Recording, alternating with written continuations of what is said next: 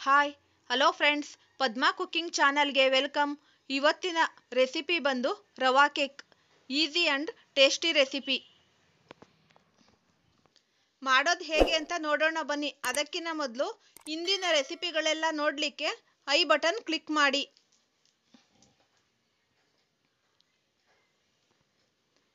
ಈ ಕೇಕು ತುಂಬ ಟೇಸ್ಟಿಯಾಗಿರುತ್ತೆ ಒಂದು ಮೆಜರ್ಮೆಂಟಲ್ಲಿ ನಾವು ಒಂದು ಬೌಲಲ್ಲಿ ಎಲ್ಲ ಮೆಜರ್ಮೆಂಟ್ ತಗೊಂಡು ಮಾಡಬೇಕು.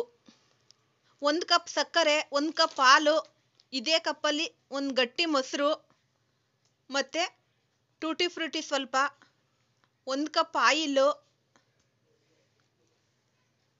ಚಿರೋಟಿ ರವೆ ಒಂದು ಕಪ್ಪು ಮಾಡೋ ವಿಧಾನ ಒಂದು ನಾವು ನೀಟಾಗಿ ಮಾಡಿಬಿಟ್ರೆ ತುಂಬ ಚೆನ್ನಾಗಿ ಬರುತ್ತೆ ಕೇಕು. ಒಂದು ಬೌಲ್ಗೆ ಒಂದು ಕಪ್ಪು ಆಯಿಲ್ಲು ಮತ್ತೆ ಒಂದು ಕಪ್ಪು ಗಟ್ಟಿ ಮೊಸರು ಹಾಕ್ತಾ ಇದ್ದೀನಿ. ಹುಳಿಯಾಗಿರೋ ಮೊಸರು ಹಾಕಬಾರ್ದು. ಏ ಈ ಎಣ್ಣೆನು ಮತ್ತೆ ನಾನು ಮೊಸರು ಬೀಟ್ ಮಾಡ್ತಾ ಇದ್ದೀನಿ. ನಾವು ಎಷ್ಟು ಬೀಟ್ ಮಾಡ್ತೀವೋ ಅಷ್ಟೇ ಚೆನ್ನಾಗಿ ಸಾಫ್ಟಾಗಿ ಸ್ಪಾಂಜಿಯಾಗಿ ಬರುತ್ತೆ ಕೇಕು.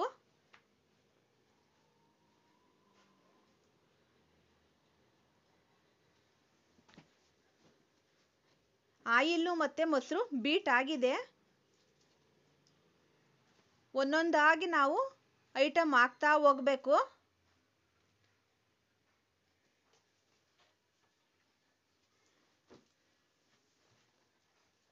ನೀವು ಒಮ್ಮೆ ಮನೇಲಿ ಟ್ರೈ ಮಾಡಿ.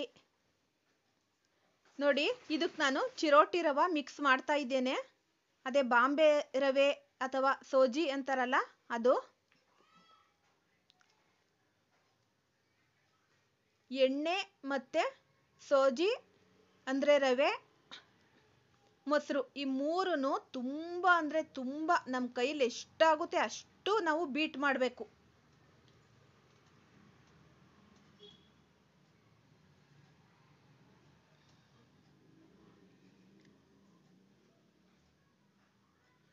ನಾವು ಬೇಡ ಅಂದರೆ ಸ್ಪೂನಲ್ಲೂ ಮಾಡ್ಕೋಬಹುದು ಬೀಟ್ ಮಿಷಿನ್ ಇದ್ರೆ ಇದ್ರಲ್ಲೂ ಮಾಡ್ಕೋಬಹುದು.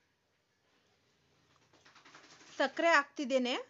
ನೋಡ್ಕೊಂಡು ನಾವು ಸಕ್ಕರೆ ಎಷ್ಟು ಬೇಕಷ್ಟು ಫಸ್ಟೇ ಹಾಕೊಂಡ್ಬಿಡ್ಬೇಕು ನೀರು ಬೇಕಾದ್ರೆ ನೀರು ಹಾಕೋಬಹುದು ಇಲ್ಲ ಅಂದರೆ ಹಾಲು ಹಾಕೋಬಹುದು ಸ್ವಲ್ಪ. ಇವೆಲ್ಲಾನು ಸಂಪೂರ್ಣ ಮಿಕ್ಸ್ ಆಗಬೇಕು. ಮೊಸರು ಸಕ್ಕರೆ ಎಣ್ಣೆ. ನೋಡಿ, ಈ ರೀತಿ ಈ ರೀತಿ ಕನ್ಸಿಸ್ಟೆಂಟ್ಗೆ ಬರಬೇಕು. ನೋಡಿ, ಈ ರೀತಿ. ಮೇಲ್ಗಡೆ ಈ ರೀತಿ ಎತ್ತಿದ್ರೆ ನಿಧಾನವಾಗಿ ಪೇಸ್ಟ್ ಥರ ಅದು ಬೀಳ್ಬೇಕು. ಈಗ ಒಂದು ಹದಿನೈದರಿಂದ ಒಂದು ಇಪ್ಪತ್ತು ನಿಮಿಷ ನಾವು ಮುಚ್ಚಿಡೋಣ. ಯಾಕೆ ಅಂದರೆ ನೋಡಿ ರವೆ ಎಲ್ಲ ತುಂಬ ಚೆನ್ನಾಗಿ ನೆನೆದ್ರೆ ತುಂಬ ಚೆನ್ನಾಗಿ ಬರುತ್ತೆ ರೆಸಿಪಿ ನೋಡಿ, ಇವಾಗ ಹದಿನೈದರಿಂದ ಒಂದು ಇಪ್ಪತ್ತು ನಿಮಿಷ ಆಗಿದೆ. ನೋಡಿ, ಎಷ್ಟು ಸಾಫ್ಟಾಗಿ ಕಾಣ್ತಿದೆ. ತುಂಬ ಚೆನ್ನಾಗಿ ಬಂದಿದೆ. ಈಗ ನಾವು ಇದಕ್ಕೆ ಒಂದು ಜರಡೆ ಇಟ್ಕೊಂಡು ಎರಡು ಸ್ಪೂನು ಮೈದಾ ಹಾಕ್ತಿದ್ದೇನೆ. ಒಂದು ಟೇಬಲ್ ಸ್ಪೂನು ಬೇಕಿಂಗ್ ಪೌಡರ್. ಒಂದು ಅರ್ಧ ಟೇಬಲ್ ಸ್ಪೂನ್ ಬೇಕಿಂಗ್ ಸೋಡಾ. ಈ ಮೂರೂ ನಾವು ಈ ಥರ ಜರಡೆ ಹಿಡಿದು ಅದಕ್ಕೆ ಡೈರೆಕ್ಟಾಗಿ ಹಾಕ್ತಾ ಇದ್ದೀನಿ. ಯಾಕೆ ಅಂದರೆ ಜರಡೆ ಹಿಡಿದ್ರೆ ಗಂಟು ಗಂಟು ಬರೋದಿಲ್ಲ ನಮಗೆ. ಸ್ವಲ್ಪನೂ ಗಂಟು ಬರಲೇಬಾರ್ದು.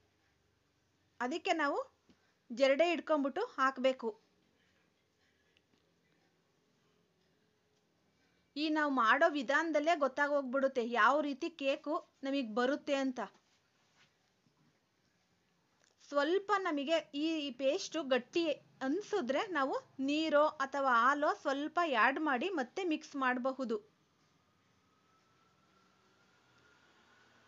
ನೋಡಿ ನಾನು ಸ್ವಲ್ಪ ನೀರು ಹಾಕ್ತಿದ್ದೇನೆ, ನನಗೆ ಗಡ್ ಈ ಪೇಸ್ಟು ಗಟ್ಟಿ ಅನ್ನಿಸ್ತು. ಅದಕ್ಕೆ ನಾನು ನೀರು ಹಾಕ್ತಾ ಇದ್ದೀನಿ. ಅತಿ ನೀರು ಮಾಡ್ಕೋಬಾರ್ದು, ಅತಿ ಗಟ್ಟಿನೂ ಮಾಡ್ಕೋಬಾರ್ದು. ಒಂದು ಮೀಡಿಯಮ್ ಆಗಿರಬೇಕು. ನಾನು ವೆನಿಲಾ ಎಸೆನ್ಸ್ ಸೇರಿಸ್ತಾ ಇದ್ದೀನಿ. ನಿಮಗೆ ಯಾವ ಫ್ಲೇವರ್ ಇಷ್ಟನೋ, ಸ್ಟ್ರಾಬೆರಿ, ವೆನಿಲಾ,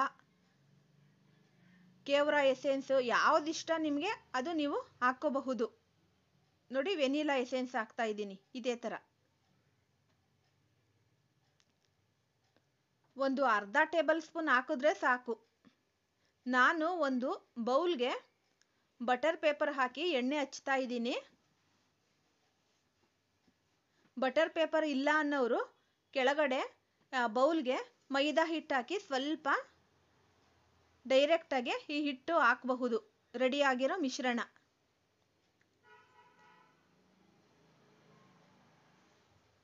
ನೋಡಿ ರೆಡಿ ಆಗಿದೆ. ನಾನು ಹಾಕ್ತಾ ಇದ್ದೀನಿ ಬೌಲ್ಗೆ.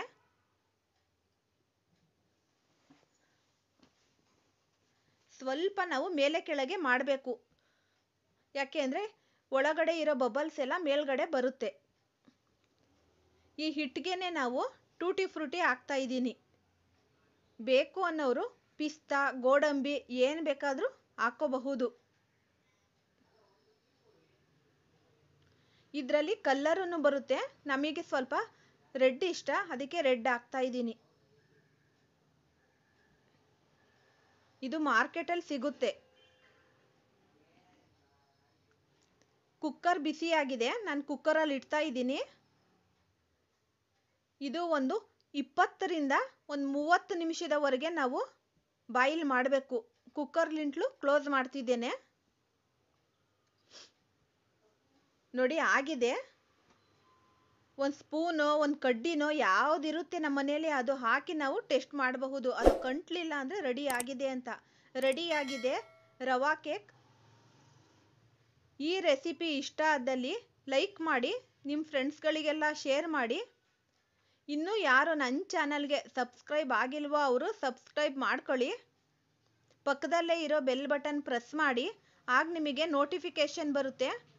Thank you friends. Thank you all.